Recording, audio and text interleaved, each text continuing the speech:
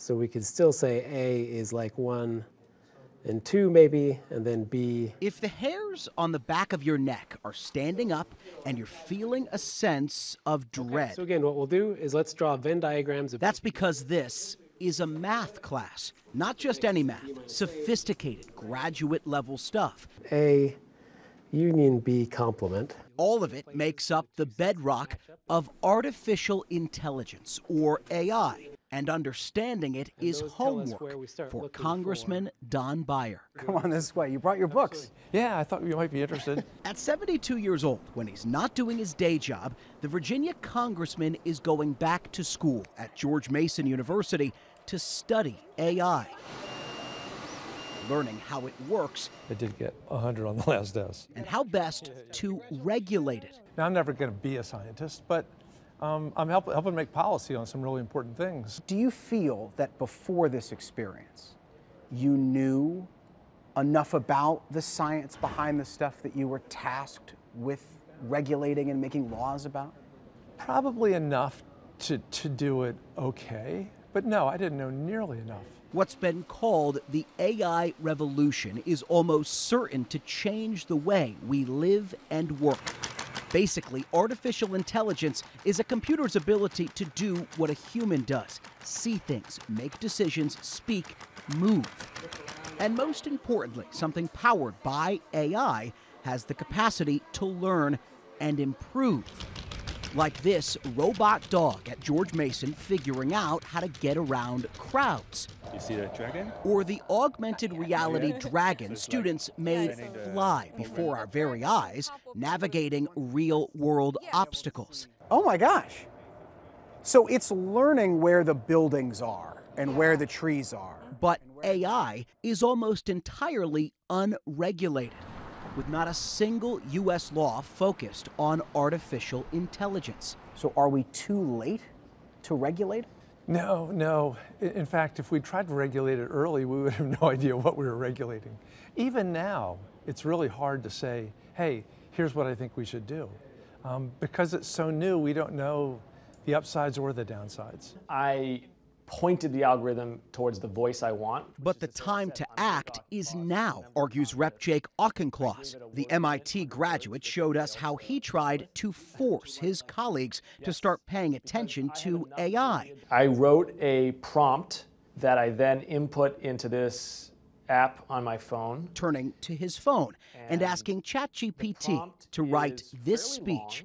This is a critical step forward in an era where AI and its implications are The taking center first stage. AI generated speech delivered on the floor of the House of Representatives. This can't be social media 2.0, where policymakers for 15 years allowed companies to get big, to get rich, and to not sufficiently interrogate the effects on society, on politics, on the media that their technology was having. We have got to be ahead of this wave of innovation, not behind. Auchincloss wants to democratize AI, make it accessible to everyone, not just Silicon Valley behemoths already investing tens of billions. Big tech is not going to write the policy on AI. The American people need to be writing the policy on AI. Is that a fight you can win? Yes. It's a fight that we have to win. But can Congress really regulate something we found many members admit neither they nor their colleagues fully understand? The short answer is no. The long answer is hell no. You don't think your colleagues know enough? No, of course not. Some colleagues know more than others, hmm. but I think everybody has to be aware of what's happening. We have some colleagues up here that don't know how to log into Facebook, so or Zoom. Do we have the knowledge set here to do it? No. Video game designer turned representative Jay Obernolte is the only member of Congress You could double the firepower. with a master's degree in AI. Now, the California congressman finds himself explaining what AI is to his fellow lawmakers. When we talk about the dangers of AI, what most people know about it comes from movies, and they think uh, dangerous AI is something out of the Terminator, evil army of robots with red laser eyes taking over the world. Have you ever had a constituent come up to you and say, Congressman, I'm worried about losing my job to AI? Have you had that happen to you yet? Yes. And what do you say to them? I say, uh, yes, I'm worried about that too. But AI, he says, has significant life changing benefits too, like streamlining a patient's diagnosis in medicine.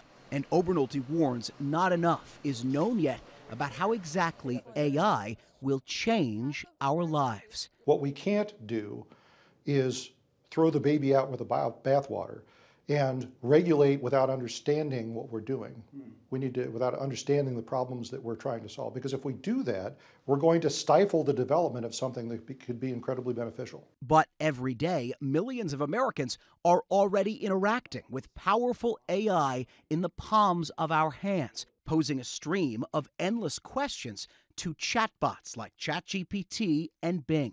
The problem, oftentimes, their answers are wrong.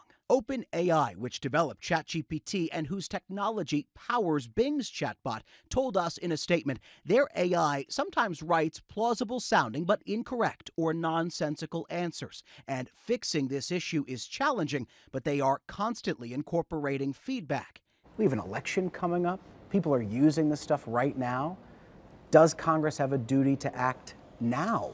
If we knew what to do, I would say yes, but I don't think we know what to do. My wife went into Bing last week, I think, to said who is Don Beyer and got all kinds of fake stuff. Made know, stuff up. Made, made, stuff up. Yeah. It's doing that about a lot of people. Yeah, yeah. So um, how do we how do we regulate that? And especially because we more than any other country in the world have this deep, deep-seated commitment to free speech. The hard part here is just figuring the proof steps. Congressman by day, now student by night, Beyer is committed to try to answer these questions eventually, but admits that will take time. So the exact same as the first And if ChatGPT has taught us anything, it's as Congress debates and waits, the machines will only keep learning new tricks. It's the poetry it's writing, the scripts it's writing, the, the computer programming is astonishing. So yeah, there is a, a meaningful thing there. I have real trouble imagining what legislation would protect us from that creative destruction. It's like almost go back to the atomic bomb. You can't uninvent it.